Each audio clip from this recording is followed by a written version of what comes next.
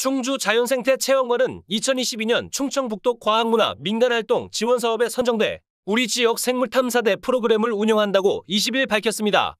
우리 지역 생물탐사대는 과학기술정보통신부와 충청북도가 지원하고 한국교통대학교 충북과학거점센터에서 운영하는 사업으로 오는 9월까지 충북권 초등학생과 중학생을 대상으로 진행됩니다. 우리 지역 생물탐사대는 지역에 자생하는 꽃, 풀, 나무, 곤충 등 다양한 똥, 식물을 관찰하고 조사해 영상으로 제작하는 자기주도형 탐구학습 프로그램입니다. 학생들은 프로그램을 통해 지역에 서식하는 다양한 생물의 종류와 생태 환경을 이해하고 멸종위기 동식물과 환경 보호의 필요성을 배우게 됩니다.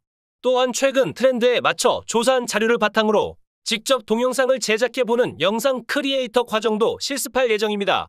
김두찬 환경수자원 과장은 이번 프로그램을 통해 어린이들이 직접 지역을 탐방해 생태계와 환경에 대해 많은 관심을 가지고 나아가 환경의 중요성을 깨닫는 계기가 되기를 기대한다고 말했습니다.